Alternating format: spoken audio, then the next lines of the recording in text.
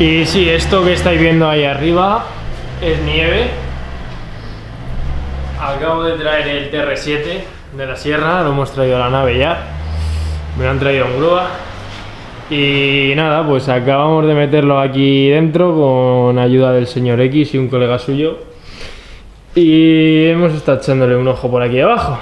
Que bueno, no está perfecto, no está como el mío, pero para como podría estar, tampoco está tan mal. Lo que más óxido superficial tiene es el motor, como podéis ver por aquí. A ver. Vale. Bueno, los colectores ya sí que eso está marrón marrón. no es que tenga muy buen aspecto, pero oye, está entero. Por lo menos no tiene podrido ni nada. La mayoría de todo lo marrón que hay, luego le pasas el dedo y es simplemente barro y porquería. Y nada, pues lo que os digo, o sea, está que habría que darle un lavadito de cara, pero, pero no tiene podridos ni tiene cosas muy graves por debajo. Aunque sí, sí, no tiene oxidito superficial. No nos vamos a engañar. ¿Vale? Pues lo que digo, bueno, ese es el soporte de la batería, pero no está tan mal.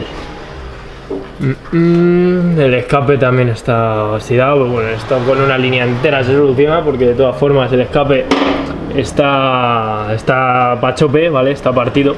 Eh, yo no sé si es que lo intentaron abrir o qué hicieron con él, pero está fatal. Está, de hecho creo que aquí se ve. ¿O dónde está? ¡Ay, me cago! Vale, aquí detrás. Era el silencioso trasero. No me llega ya la linterna, pero el silencioso trasero está reventado. Madre mía, el- la curva que hace el escape este por aquí.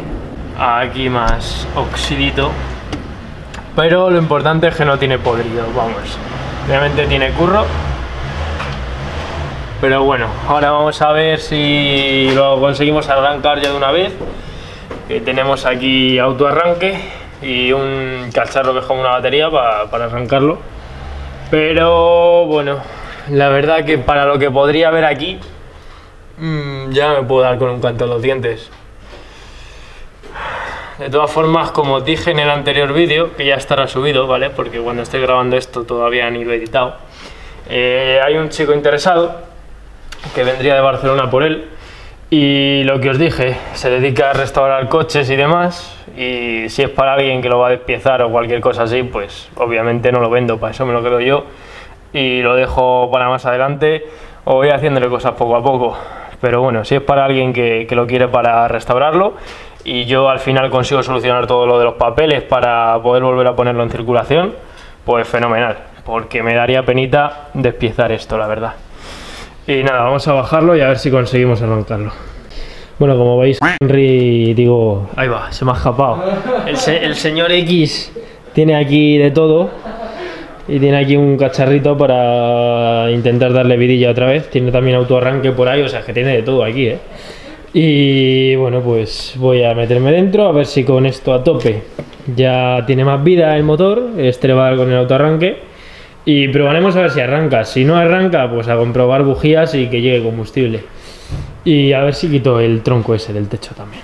Lo que más me gusta es la nieve que se ha quedado aquí. Rollo, no me quiero ir. Veamos si esta vez arranca. Vale. 3, 2, 1.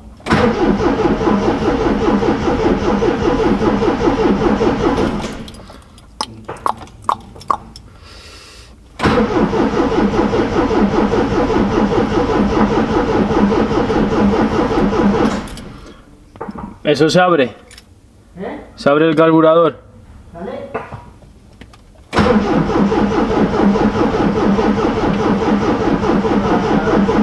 ¿No tiene un cebador? Sí, el starter este, le estoy dando, no abre ni cierra nada, tío. Pero tampoco le combustible, ¿eh? Como tenga la bomba mala, apaga y vámonos.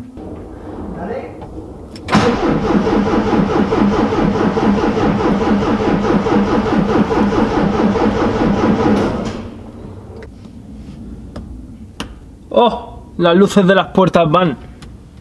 Esta no. Oh, sí, también. Joder, qué guapo. Sí, señor. Pues no ha habido manera, pero subiendo el coche y quitando el manguito de detrás, de donde va el depósito, hemos visto que no sale gasolina directamente, o sea, por el depósito no sale gasofa. Bueno, baje por el depósito del depósito. Vale, ahora mismo no vais a ver nada. Os voy a alumbrar con el móvil, ¿vale? Mi móvil se le ha roto el flash y no quiere alumbrar, así que no, no puedo alumbrar. Pero bueno, básicamente el manguito que sale del depósito lo hemos quitado y es que ni siquiera sale gasofa por ahí. Así que, vale, aquí se le cae una carraca al señor X. Así que voy a ir a por más gasofa, a ver si echándole un poquito más. Ya que el depósito acaba así, digamos, ¿no? En curva y por donde sale la gasolina está aquí arriba. Es decir, hay un trocito donde se puede quedar la gasofa sin salir. Eh, vamos a ver si dándole un poco más ya conseguimos que salga y que llegue hasta el motor.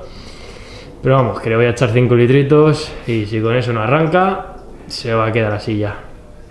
Pero bueno, porque como dije, la nave me pilla un poquito lejos de casa y no es plano. Pero vamos, que parece ser que, que simplemente eso y poniendo bien todo que llegue combustible, el motor suena muy bien, gira perfecto y no tiene pinta de que no arranque.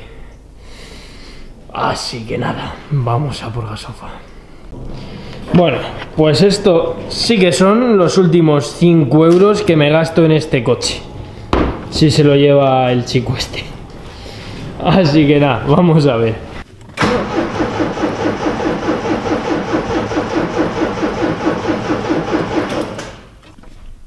Pues parece que no hay manera, eh, el depósito está obstruido y la salida que tiene hacia el único manguito que va, que, por el que sale la gasolina para ir al motor, pues tiene la salida obstruida, o sea, tiene que tener el depósito porquería para aburrir, porque hemos intentado desatrancarlo con un destornillador y, de todo, y nada, sigue sin salir la gasolina.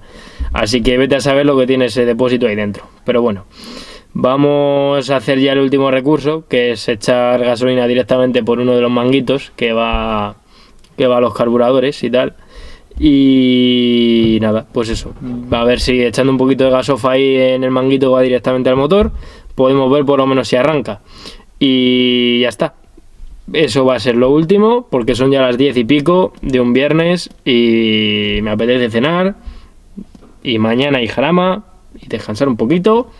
Pero bueno, descansar es de cobardes, ¿no? Así que vamos a ver qué hacemos. Está aquí el señor X conmigo, por cierto, que se está aportando. Y a ver si conseguimos entre los dos hacer algo. Bueno, el señor X está solapando manguitos mientras que yo estoy viendo caer goteras del techo del coche. Y pues así, así andamos, chavales. Mira lo que tengo por aquí. Una insignia de Triumph original. Impresionante. Está ya hasta cuarteada por el sol. Bueno, el señor X ha conseguido meter gasolina de la que quedaba en la garrafa eh, en un manguito que va directamente a los carburadores. Así que vamos a poner las pinzas y ya sí que sí, esta es la última oportunidad. Porque pasa yo compro, de ponerme ahora a comprobar si las bujías hacen chispa o lo que sea.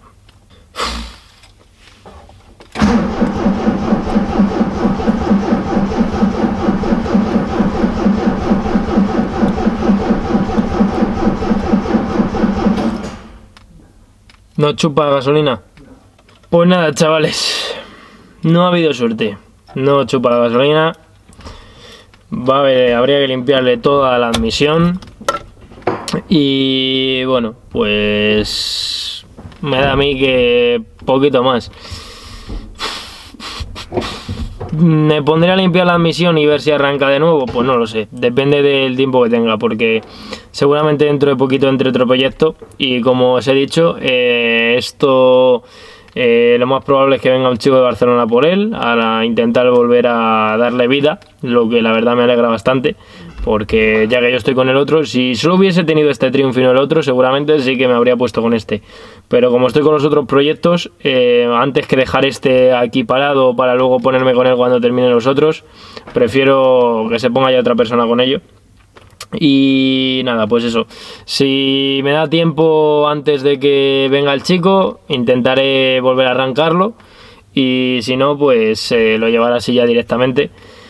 Pero bueno, mm, es lo que hay. El coche parece ser que lleva más tiempo parado del que nos dijeron, porque no me creo que esto lleve dos años parado después de todo lo que hemos estado viendo. Mm, imposible que se haya parado funcionando hace dos años nada más. O, eso se ha parado en un campo, vete tú a saber, pero tampoco parece porque no tiene tampoco signos de que haya estado en un, en un campo ahí metido con la maleza. Así que, bueno, un solar o lo que sea. Así que no lo sé, no lo sé, chavales, pero parece ser que de momento eso es lo que hay. Pero bueno, el motor gira y el coche está bastante entero. Así que nada, si al final, por lo que sea, todo saliese mal y el chico no se lo llevase, mmm, intentaría, pues eso, lo dejaría aplazado para más adelante. Pero bueno, tema papeleo, eh, ya he encontrado al administrador, si todo va bien, esta semana que viene, eh, ahora estamos ya viernes, ya por la noche. Eh, voy a ir a que me firme el antiguo administrador de la empresa a la que está el nombre del coche, eh, a que me firme los papeles y a que me deje una fotocopia de su DNI.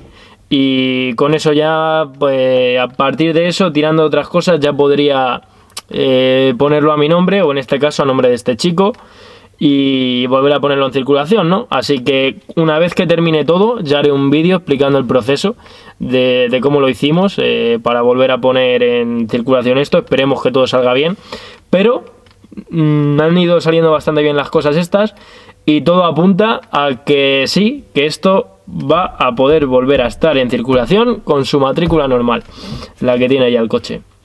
Así que eso me alegra mucho saberlo. Y nada, falta también de saber tema de impuestos de circulación, a ver si nos tocaría pagar eh, todos los impuestos de circulación que han estado sin pagar, que no sabemos cuántos son, porque en el ayuntamiento de, del municipio donde estaba este coche eh, no me quieren decir cuánto es por protección de datos y tal, les he enseñado mi DNI y demás, pero no me lo quieren decir sin un contrato de compraventa. Y como todavía no lo tengo, pues no he podido saberlo. Y eso, ver cuántos están sin pagar, luego ver si nos hacen pagar todos o si nos hacen pagar solamente el último. Y eso es todo, chicos, eso es todo. Mm, hay días que salen las cosas bien y otros salen mejor. Pero bueno, es lo que hay. Y bueno, pues lo que me comenta el señor X es que la bomba de gasolina de este coche va por vacío. Y bueno, pues como podéis ver aquí, tiene todos los man... Acabo de quedar con uno en la mano. Tiene todos los manguitos rotos o partidos o rajados o desenchufados o hechos un asco, básicamente. Así que eso es lo que hay. El que quiera ponerlo en marcha, eh, si al final no me lo quedo yo, le va a tocar poner manguitos nuevos, hacer una limpieza y tal. Así que eso es lo que os digo. Luego me diréis algunos que por qué no me lo quedo, que para qué lo compro. Si no, pues por lo que os digo, porque eh, si puede restaurarlo alguien antes que yo, pues ya está. Y nos ponemos con otro proyecto ya que tengo otro TR7 que hay que seguir con él. Pero por lo menos si, todo sale bien y alguien lo restaura, pues no lo haré yo, pero me quedaré con la cosa de que he conseguido eh, salvarlo de alguna manera, ¿no? Pero bueno, eso es lo que hay. Por lo menos no ha acabado para piezas, que sinceramente era lo que. por lo que más apostaba yo, de que no se iba a poder hacer nada con el coche y yo lo iba a despiezar y vender el chasis simplemente o prepararlo para circuito o cualquier cosa así, pero mm, tampoco creo, porque preparar esto para circuito es un coche raro y se puede, pero las piezas que le tienes que meter te van a costar muchísimo más que para un E36, por ejemplo. Entonces, nanay. Pero bueno, chicos, eso es lo que os quería comentar. Así que nada, chavales, ya sabéis. Manita arriba si os ha molado. Cualquier cosita que me queráis decir, mm, ya sabéis lo que, lo que tenéis que hacer. Sección de comentarios o mensaje directo por Instagram. Si hay alguno que está interesado en el coche, me lo podéis poner por Instagram. Y si por cualquier cosa el chico este me fallase, pues si es con la intención de restaurarlo, eh, podríamos llegar a un acuerdo. Y nada, pues eso chicos, si vosotros queréis, nos vemos en próximos vídeos. Hasta luego.